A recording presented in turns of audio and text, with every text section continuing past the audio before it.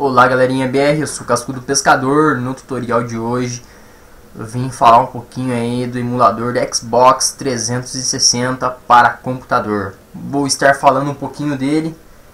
Eu já estou com ele aqui na minha área de trabalho, ele já está extraído e vamos falar um pouquinho. Vão me perguntar, daí Cascudo Pescador, você vai testar o emulador do Xbox 360? Jogo para teste eu tenho, mas o emulador não funciona no meu computador ele requer um hardware de última geração.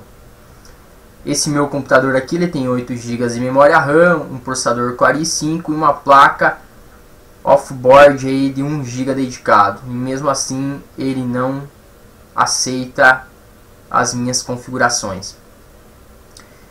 O meu já está extraído aqui na minha área de trabalho, eu vou abrir e vou colocar para executar o meu Xenia emulador de Xbox 360. Vou dar dois cliques nele. É, ele vai fazer uma varredura no hardware e vai dizer que o meu GPU não é compatível. Talvez se eu colocar uma placa de vídeo aí de última geração, ele vai rodar tranquilo.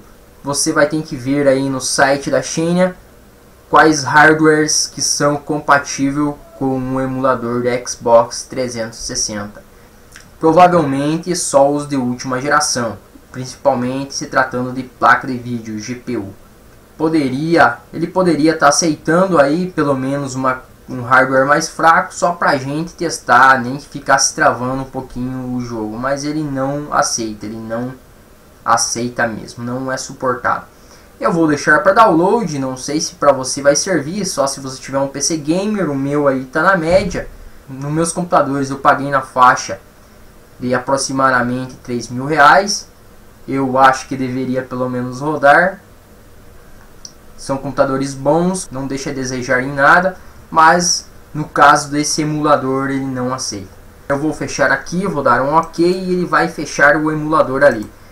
Ele vai deixar um arquivinho TXT com o nome de Xenia. Eu vou abrir ele aqui e ele está me dando alguns erros, como o drive é incompatível com o Xenia emulador. É como eu falei para vocês, talvez a placa de vídeo aí não seja suportada, requer uma placa de vídeo superior, porque o processador é um processador de última geração, Core i5 da Intel, tem a última tecnologia de processamento e a memória RAM de 8 GB. Eu acho que é suficiente para estar tá rodando um jogo de Xbox 360. Eu vou fechar o arquivinho de erro aqui e vamos conferir a minha configuração. Vou clicar no menu inferior esquerdo do iniciar e vou vir em sistema. Se você estiver rodando o Iniciate, só vai no menu de pesquisa, digita painel de controle, vai no menu iniciar e clica no painel de controle, desce até embaixo e vai em sistema. Ali ele já vai dizer para você, então, processador Core i5, 8 GB de memória RAM, e 64 bits. Lembrando que o meu processador tem 3,2 GHz de potência. Vou fechar aqui. Aqui no caso, se você quiser entrar no Windows 10, clicando com o botão direito do mouse. Eu vou clicar agora na área de trabalho com o meu botão direito em configuração de exibição. Vou rolar até embaixo em propriedades do adaptador de vídeo. E aqui eu já posso ver então o modelinho da minha placa, uma GeForce 210 a versão do meu drive, total da memória gráfica disponível e a memória de vídeo dedicada que é 1 GB disponível.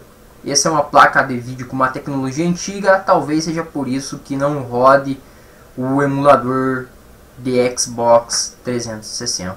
Mas eu vou deixar disponível para você, se você tem uma configuração top aí, um computador bom mesmo, você pode estar tá é, rodando alguns jogos. Eu poderia até mostrar para vocês que a gente poderia testar rodar algum jogo, mas o meu computador não é compatível.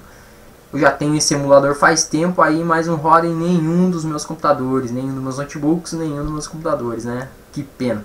Mas então aí galerinha, se para você servir esse emulador aí, deixa o like, compartilha o vídeo, se inscreva, ative a notificação para estar tá recebendo mais vídeos.